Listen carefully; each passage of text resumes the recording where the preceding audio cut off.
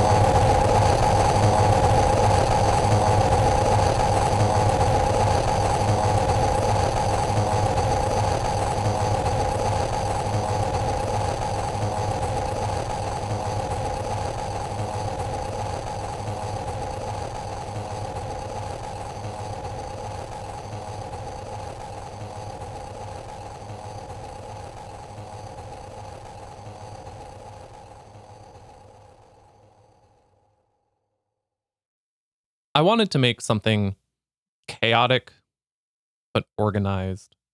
There's a lot of intertangledness in this patch, but it's largely starting from the Benjolin and from there moving out to a copy of that signal going to the Excalibur filter and the two of these playing together in the matrix mixer before heading to a short timbral delay on the loop and heading out of the system.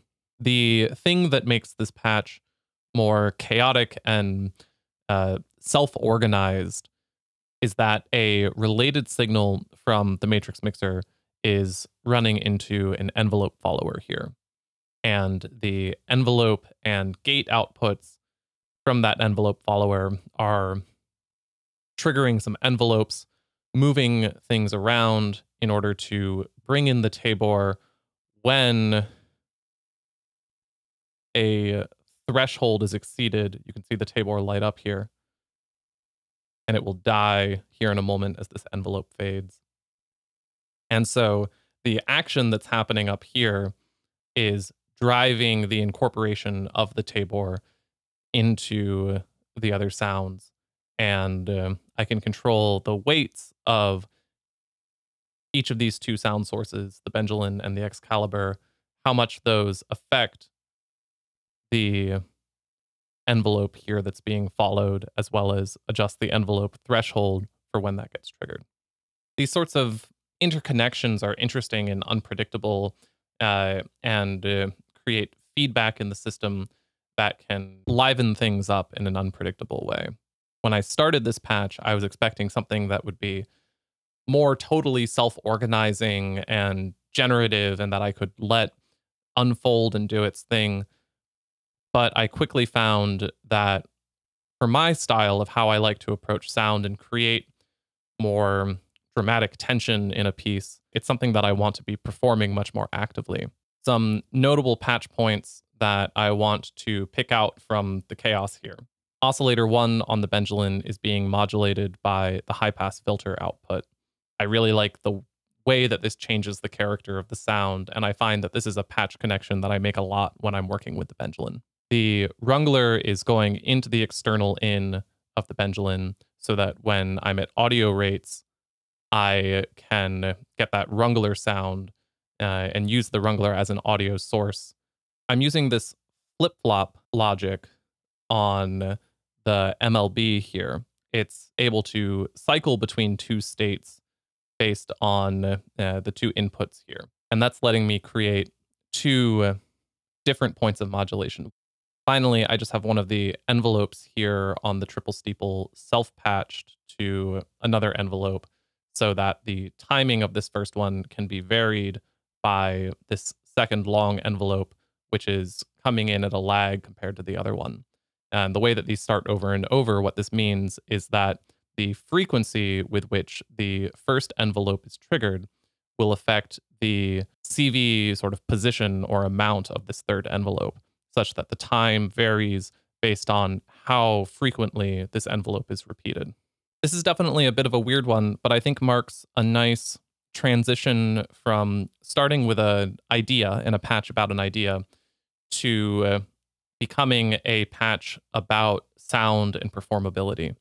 While it's harder to articulate the particularly interesting things about this patch at a conceptual level, I think that I really enjoy the sounds that are coming out from it, and uh, I would play with this patch for a while.